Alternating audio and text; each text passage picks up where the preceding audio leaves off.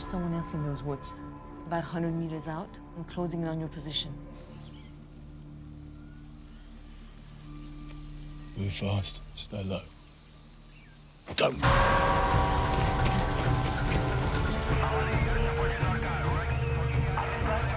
Tyler, chopper's inbound.